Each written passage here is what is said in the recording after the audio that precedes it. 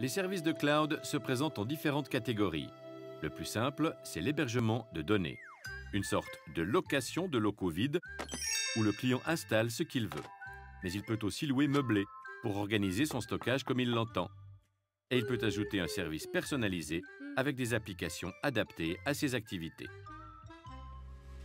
Tous ces services, on les trouve chez Infomaniac, un prestataire établi à Carouge qui répond aussi bien aux besoins de particuliers que d'entreprises.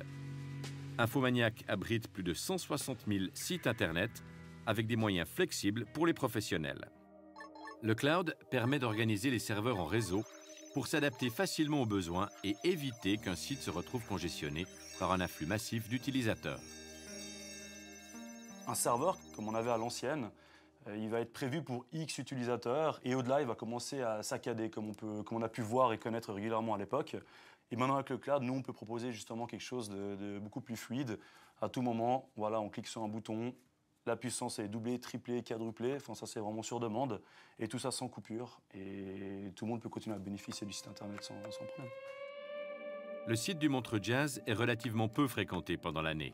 Mais par moment, il doit gérer des situations plus critiques. Le point culminant, c'est le, jour de la sortie des billets, où là, on va avoir un, raz-de-marée de personnes et d'utilisateurs qui vont se connecter sur le site Internet.